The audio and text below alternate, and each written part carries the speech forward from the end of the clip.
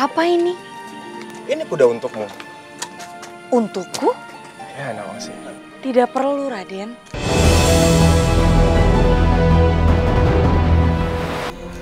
Aku benar-benar rindu dengan kakak. Maafkan aku, Gendis. Aku ada urusan mendadak, jadi tidak bisa mengabarimu.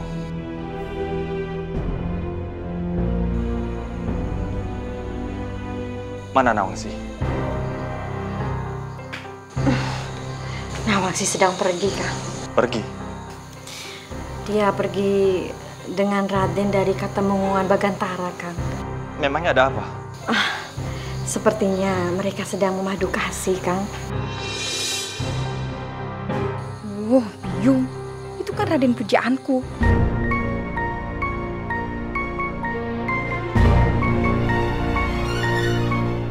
Kalau begitu nanti aku tanya langsung pada Nawangsi kalau dia sudah pulang. Sebaiknya begitu, Kang. Oh ya, Gendis. Aku mau mengajak anak-anak jalan-jalan. Boleh? Kakak mau meninggalkan aku lagi. Tenang saja. Hanya sebentar. Aku ingin jauh lebih dekat dengan mereka. Baiklah. Ya sudah, kamu masak apa? Aku lapar sekali.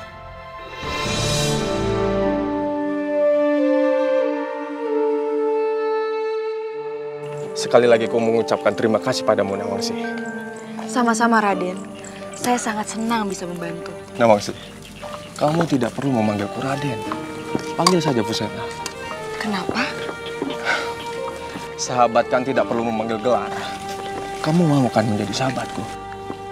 Tapi apa tidak masalah seorang rakyat biasa seperti saya menjadi sahabatmu, Raden? Tentu tidak masalah, Nawangsi. Tapi itu terserah padamu. Kalau kamu merasa keberatan, kamu tidak perlu memaksakan diri.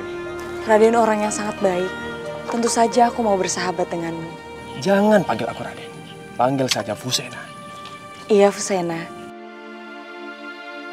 Eh, pengawal! Apa ini? Ini kuda untukmu. Untukku? Ya, Nawangsi. Tidak perlu, Raden. Nawangsi, kamu tidak perlu menolak hadiah dariku. Dari sahabatmu.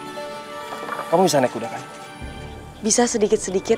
Kapan-kapan aku akan latih kamu. Naiklah.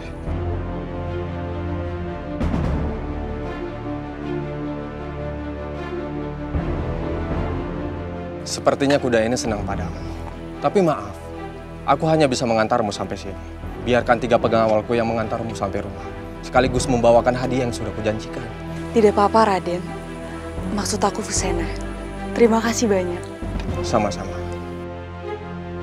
Kamu hati-hati Nawangsi.